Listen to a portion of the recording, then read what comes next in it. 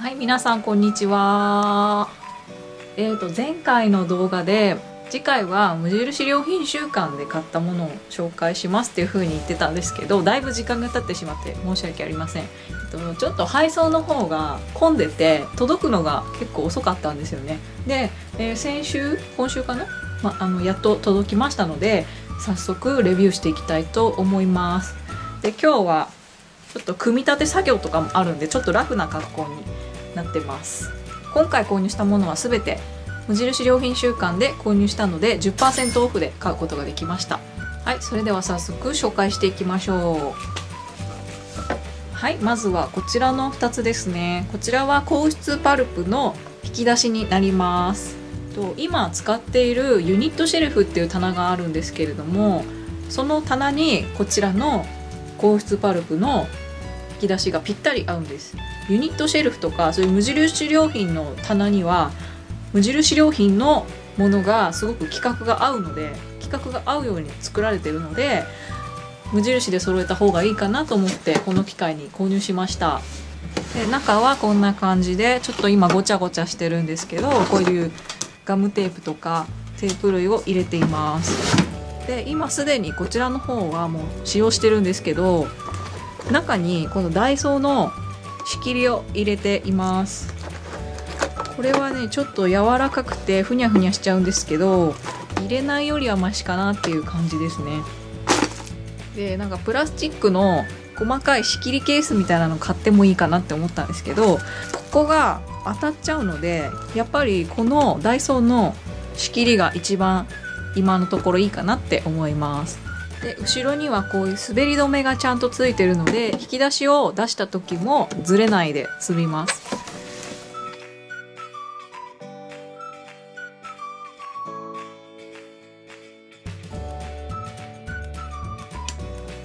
はい、次にご紹介するのはこちらの工具箱です。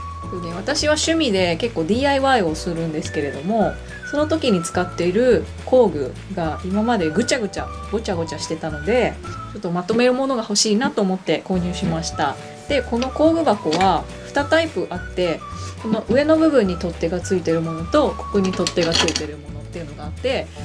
上に取っ手がついてると物を上に重ねられないかなと思って今回はこっちに取っ手がついているタイプにしました。ここね硬いんですよね。でもこのぐらいがっちりしてる方が工具箱はいいかなと思います。今こんな感じですね。そうまだ全然入れてない状態ですけれども。中に特に仕切りとかはないので自分の好きなように入れることができます。今は工具をねこんな感じで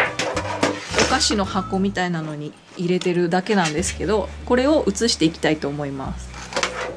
はいこんな感じで入れてみました。ちょっとね下に傷がいくのが嫌なのでこの IKEA で買った食器棚の底に敷くシートを敷いています。たまたま余ってたので使いました。まだちょっとこれでもごちゃごちゃしてるんであの細かい部品入れたりするものは100均で買ってこようかなと思ってます。この工具箱は本当にデザインがシンプルだし工具箱入れ以外の用途で使う方も多いみたいです例えばこれを救急箱にしたりとかいろんな使い方ができるんでこちらはぜひおすすめですね。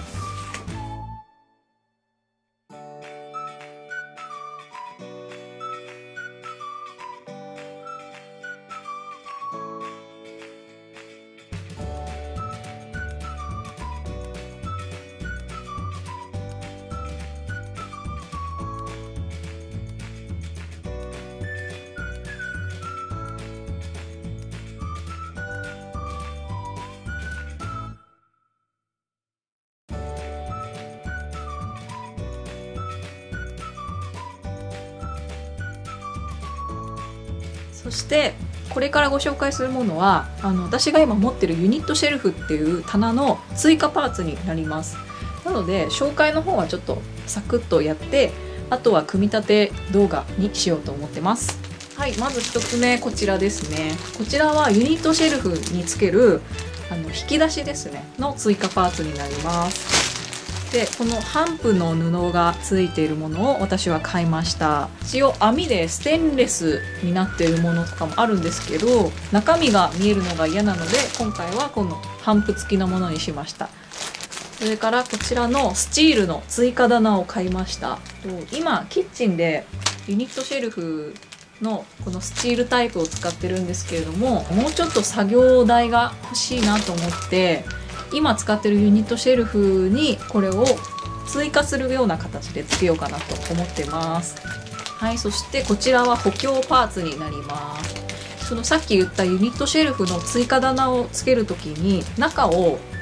空洞にしたいんですよ。あの後でちょっと組み立て動画で見ていただければと思うんですけどこう中を空洞にしてゴミ箱をそこに入れるようにしたいんですね。でそうすると空洞ができることによってちょっとね安定しなくなっちゃうんでこういうね補強パーツをつけてくださいっていう風に店員さんからアドバイスいただいたのでこちらとあとクロスバーですねを買いました。はいそれからこちらのユニットシェルフのホタテですねこちらも購入しました。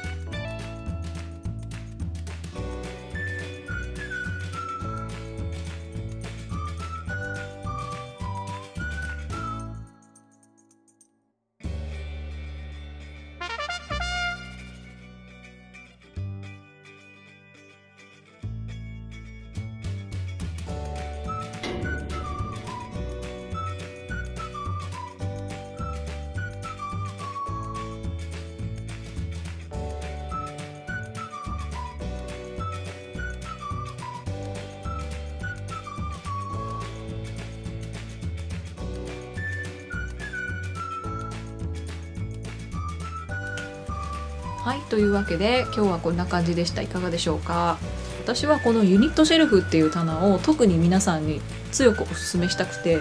ていうのは例えば今私はキッチンでこの棚を使ってるわけなんですけれども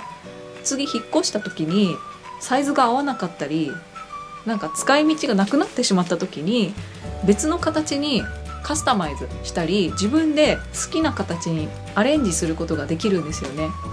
だからそういったところで汎用性がすごい効くなと思って私はこのユニットシェルフは本当に大好きな商品です。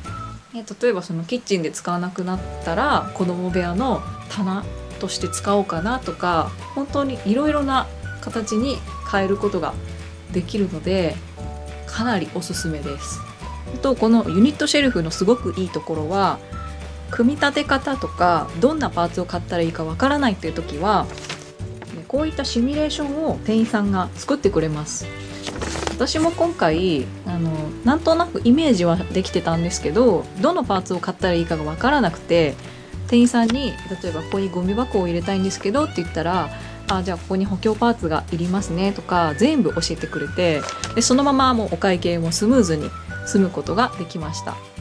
はいということで本日は無印良品週間で購入した商品紹介の動画でした。この動画が少しでも参考になったいいなと思っていただけたら是非いいねボタンとチャンネル登録をよろしくお願いいたします。それでは本日もご視聴いただきありがとうございました。